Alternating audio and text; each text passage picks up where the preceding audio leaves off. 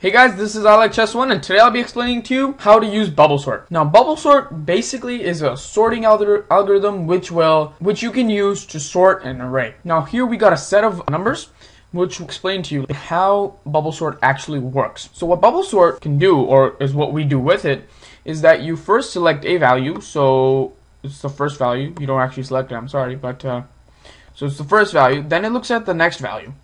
Then it determines if the first value is bigger than the next value, so it's greater than. And if it is, then it will switch this with this and this with this. And that's what it will do. And that's what uh, it will continue to do that from left to right, so that way, until it's sorted. Okay? So let's go ahead and open up our IDEs. So I have my IDE open now, and as you can see, I've created a static int array which holds the values that you just saw in the paint program. So they are 5, 1, 12, negative 5, and 16. And now in our class, we're going to be implementing two method, uh, two methods, one of which will be our uh, method that will print out the sorted array, and the other one that will be actually doing the sorting. So let's go ahead and create um, a public static void print method. So public static void print array. And let's go ahead and make it just a print statement, not a print line statement, print. And in this statement, we'll just type in uh, the sorted sorted array is. And now let's go ahead and make a for each loop or some people call it the enhanced loop. And this will basically iterate through the array and print out um, the values. So for, since it's an int array, we got a int i, and then array. And if you're not sure about um, for loop, uh, for each loops, check them out. I'll, I'll leave a link in the description for you guys to check out.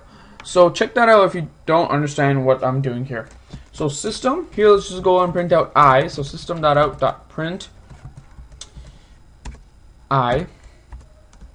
And we're making space because we don't want everything to be cluttered, right? So there we go. That's our basic print array. Let's leave a comment. Uh, print array. And let's go ahead and now make the method that will do the sorting of our array. So my sorter method. So we'll name this my sorter, just like comment kind of public static void my sorter. And now what we're to do is a bunch of things. So let's go ahead and first declare a variable called temp. And this variable is very important because we need to store the values that we're switching into a temporary var variable and then uh, variable to repopulate um, one of the array indexes, right? So um, that's going to be very useful. Next, let's create another variable called j, and we'll set uh, this to 0 also, and I'll explain why we have this afterwards. And now let's go ahead and create a variable, uh, a bo boolean variable called is running equals to true. And we'll use this for our while loop. And this is extremely important. Without this, nothing will work. So while is running, we're gonna go ahead and create a while loop.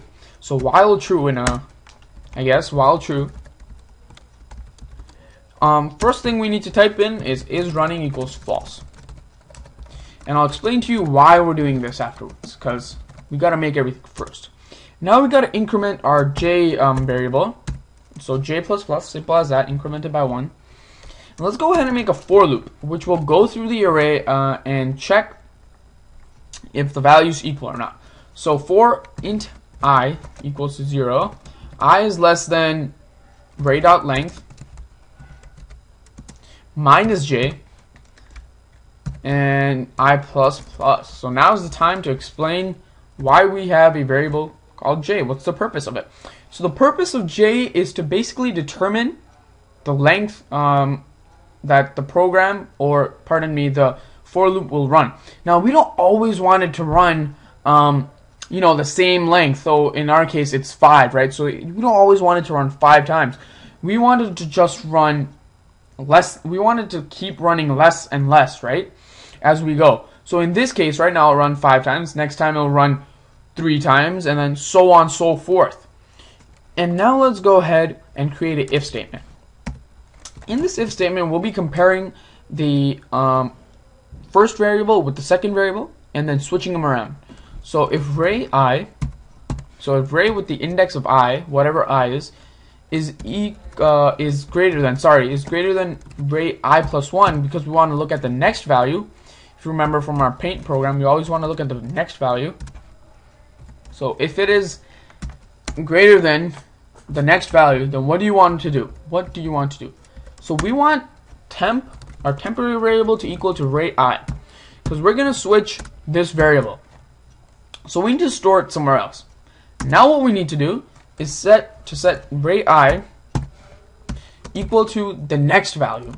Because we know that value is less than.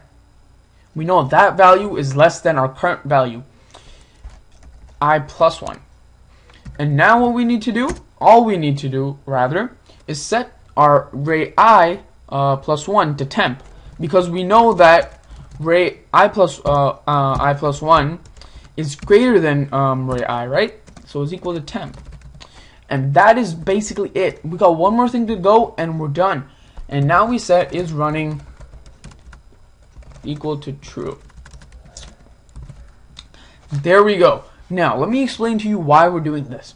See, when this program runs, it's going to go through the for loop, right? And we got to indicate to the while loop that, you know, somehow we're done. We got to indicate it somehow. So we're going to use a boolean variable. And what we're going to do is, so if, let's start up from the top. So while is running equals true, the next line we just set it to false, right? Because we want to check if we're done or not. And if it if it's still running, then it'll set it to true and it'll run one more time, right? So that's what we're that's why we have is running equals to false, and in our if statement we have it to true. And we have it in our if statement because we want to return if it's actually running, if we're actually doing any sorting. Because if we're not, we just want to stop. And that's why it's basically there. So let's go ahead and save all of our stuff and go up back up to our main method. And first, of course, we need to sort our array. So my sorter and then next we need to just print our array. So array. And there we go. Let's go ahead and save this and let's go ahead and run it. So as you can see, it's sorted our values and that's awesome. So bubble sort is working fine. Now there are some problems with bubble sort that I'm not going to really explain in this video, but you can go ahead and look in the description where I, will give you the link um, for bubble sort and you can you know figure other cool things uh, out uh, by looking at that web page. So thanks for watching guys. I hope my videos helped you and I'll see you guys later. And if you have any problems, be sure to comment